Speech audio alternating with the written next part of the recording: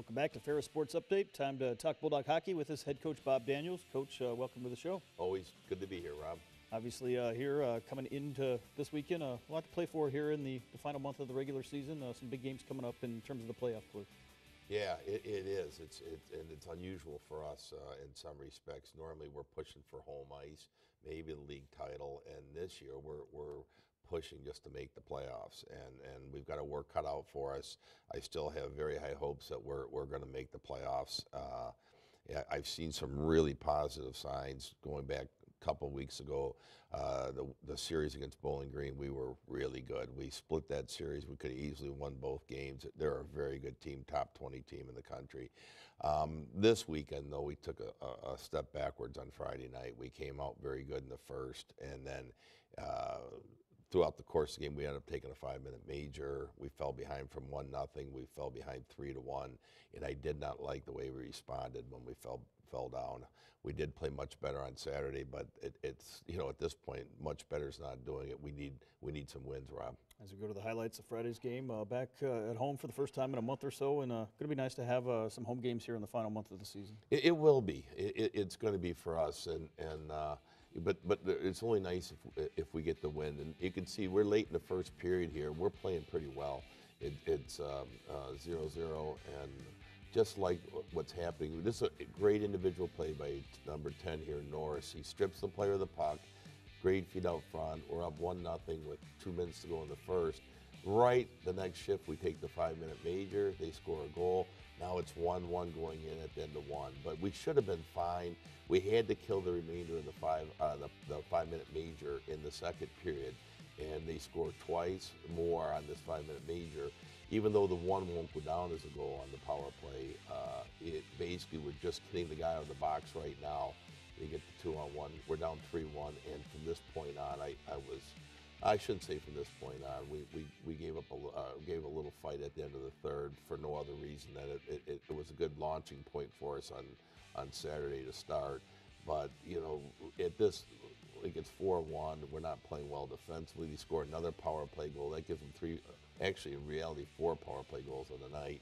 So our penalty kill wasn't up to task, but you know, okay, I, I, give us some credit here. We're still fighting. We're going to get some opportunities, but it's a little bit too little, too late, Rob.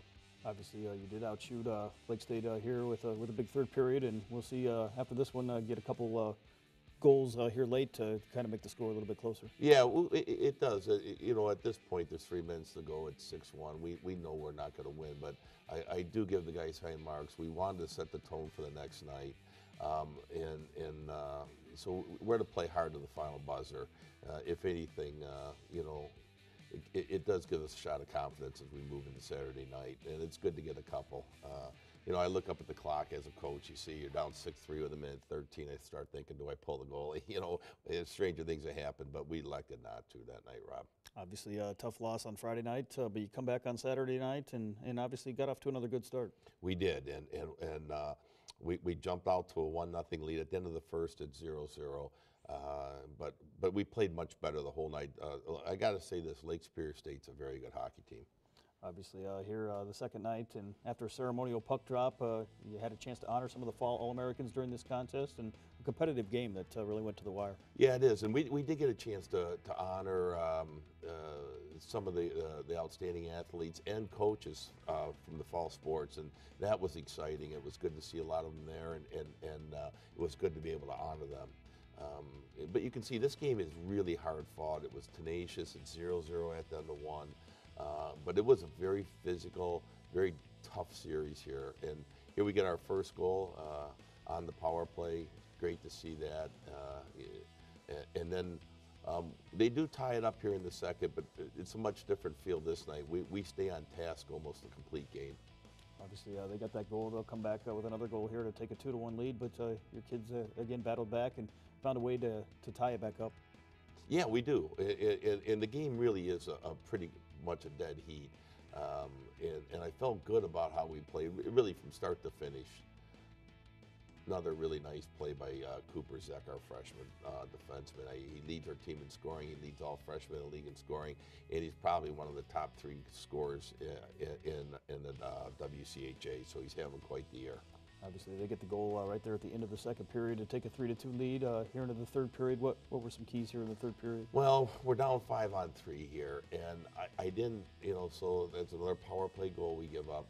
Um, but I didn't feel as, you know, the first penalty was the, the real, uh, to me, uh, a penalty that we should never take. It was an offensive zone penalty a long way from from the goal. Here you can see late in the game we do have the goalie pulled. We get numerous chances. So you know we were right in this game, but we took a really dumb penalty, and then I thought the official uh, made a poor call. And, re- and when I, I say poor call, you know, here we are in a 3 2 game late in the third period. We had just got called on a penalty that we deserved, and then a really ticky tack call to put us down for almost an entire two minutes, five on three. I think even if you ask the official right now, if he had to review it, he said that was you know ill advised on his part. It, it's a tough job. It really is, Rob. It did that cost us the game. You can't say that, but it was a penalty that at that time I thought was was was not a, a great call. We'll put it that way. And then um, we weren't able to get the kill.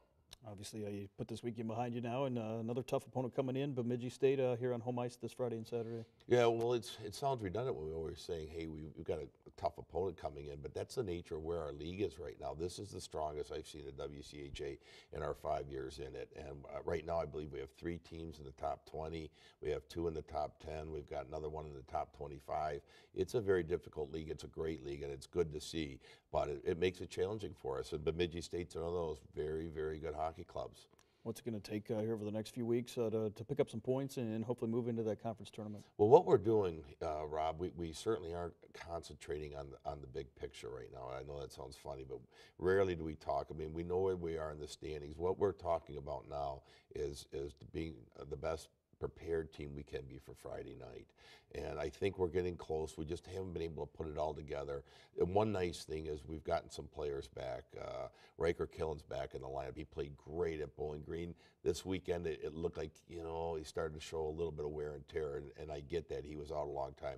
We got Justin Kapelmaster back. He played Friday night, and we were able to play Roman uh, Salmenkangas on Saturday. So now we're able to split goalies and keep them fresh. So I like where we're at. Uh, we're going to have to play better on the penalty kill. Uh, we're going to have to stay stingy on defense. Well, Coach, thanks for being with us. Uh, best of luck this weekend, Friday, Saturday, 7.07 p.m. Thank you, Rob. We'll be back with more uh, coverage here on Ferris Sports Update right after this.